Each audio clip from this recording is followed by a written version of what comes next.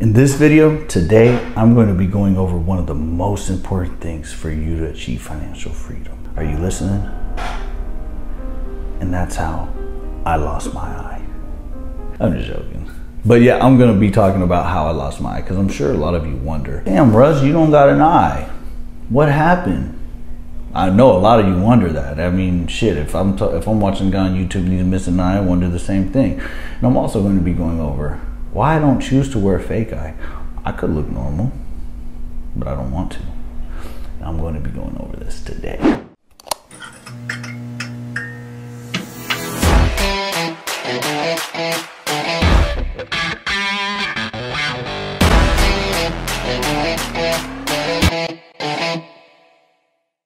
So, 2008, I was a live wire. Talked a lot of shit. Like to get into shit. Like to fight. You know, that's just what I like to do. It's just, you know, I was young, full of testosterone, and just really like to get into shit. Any kind of shit I could get into, I love to get. I just love shit. I'm a shit lover. I was a shit lover, but back in 2008, I went to a party. There's a bunch of fucking country dudes out there in like Puyallup. Now, if you're familiar with the area, Puyallup is like uh, some country. And you know, there's a big bonfire going on. You know, I'm from the city. I go out there, I'm a city slicker. And I was acting big and bad and thought I was, you know, tough, I guess, you know, and um, yeah, I was at the wrong party. And uh, guy comes out, says something to me. I turn around and I just get hit hard. A couple times. Hard as fuck. Boom, boom. Didn't even look. Didn't even see it coming. Hard. The heart I didn't I didn't get knocked out, but I was discombobulated. I was like, oh crap, you know? And then they started jumping my friends too. So when my friend pulled out a weapon. We got out of there. I'm laying in the car seat. My eyes just like fuck my eye as you know my eye was coming out leaking you know just fucked up so I go to the hospital they fix me up you know my eye is is is, is you know i'm not noticing anything a couple days later I started seeing like blurry stuff, you know, just it was all messed up, you know. I didn't, but I didn't do anything about it. I didn't go see the doctor. I no, I just kept going on with my life, you know and it continued to get worse and worse. And I finally went to the doctor, and he's like, "Your retina has been detached this entire time." So they tried to reattach the retina so that I could see again, and it detached again.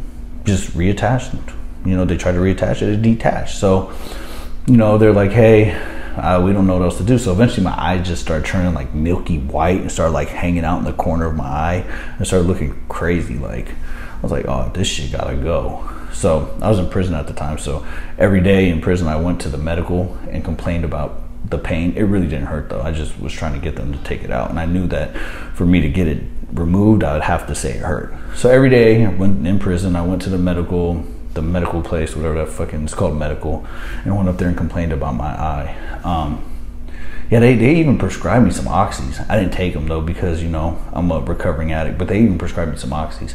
But I was like, nah, I'm good. In prison, after going to the medical every day, they finally take me out to get my eye removed. So they get my eye removed and they hook me up with a glass eye. It looked normal, you know, I looked normal. But the thing is, is I was like, you know what? Why do I have to wear an eye so I can look normal? so that I can be accepted by the public.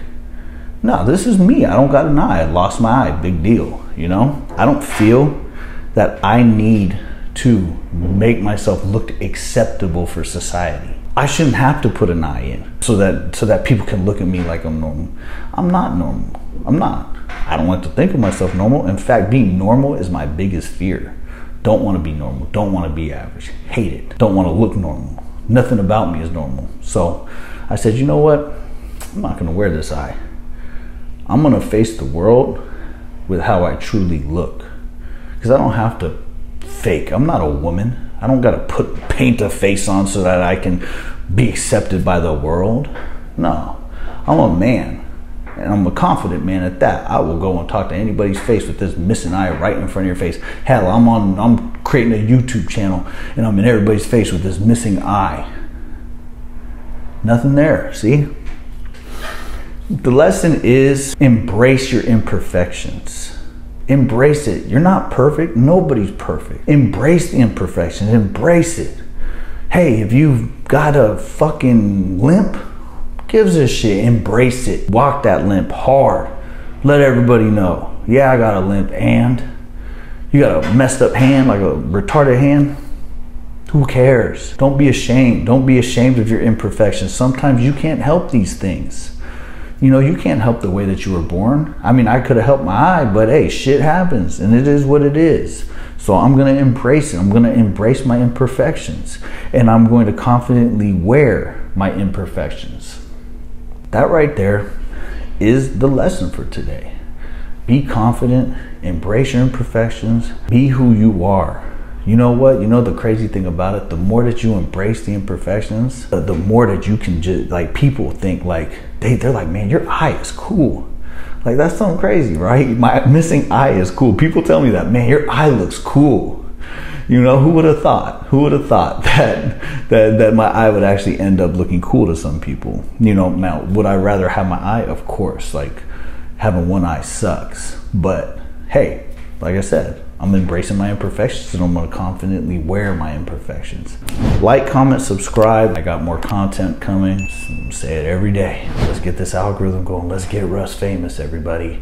Tell your friends, tell your family, get on this channel. I have a very good message. Thank you.